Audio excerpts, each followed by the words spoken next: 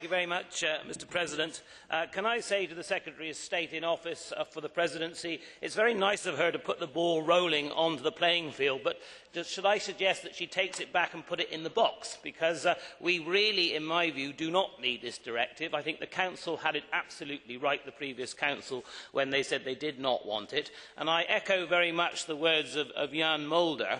When we do have the Nitrates Directive, the Groundwater Directive, and all these things are beginning to take action on the soil and, and making sure we are cleaning up our soils throughout the European Union. And I agree with Graefe zu Baringdorf that the farmers do indeed are the custodians uh, of the soil, and soil is so important for everything we grow. But do we actually need a soil directive?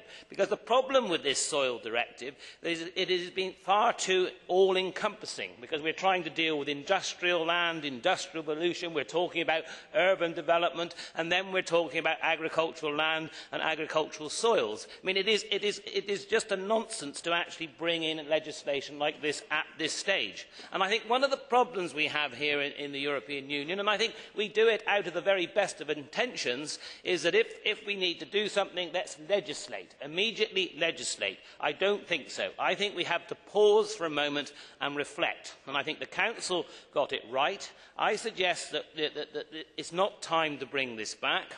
I would suggest that we go goes back to the, the new Commission uh, and, and, to, and a new Council in, in the next Parliament session, and then they can look again to see what is happening. And I would encourage Member States that don't have industrial uh, controls over the use of industrial land, over pollution from industry, to actually put those in place at a national level and not, let's not actually interfere from the European level because I don't believe we need it and I think we want to make sure that we don't have the level of bureaucracy that we're getting and people are just absolutely fed up to their back teeth with further bureaucracy. So I would say to the Secretary of State, please don't put the ball rolling, take it back again.